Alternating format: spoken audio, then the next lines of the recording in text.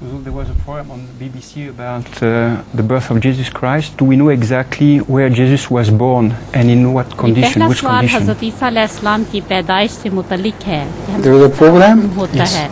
Yes, what, was, what did they say? Well, several people, there are very many people, but they all, all said something different. It was बहुत not सारे लोग exactly what uh, मुख्तलिफ one person didn't agree या with. साराइयाँ They कहते don't हैं know when he was born. और He was not सबकी born during राय है Christmas. वो मुख्तलिफ No. है That is certain. हजूर फरमाते हैं कि ये बात तो Because यकीनी है कि according to the Holy Quran, मुख्तलिफ मकामात पर नहीं the पैदा हुए थे, date कि एक tree जगह पैदा हुए थे or ripe with fruit. और the ये वो time of his मौसम birth. जब And there are other indications as well which indicate और एक और that Jesus was not born, definitely not born in Christmas. हज़रत ईसा अलैहिस्सलाम So this is a pagan's day. Yes. Christmas के दिन celebrate. पैदा नहीं हुए थे It's not the Christmas birth. It's not the Christ's birth. जो क्रिसमस ईसाई लोग आजकल मनाते हैं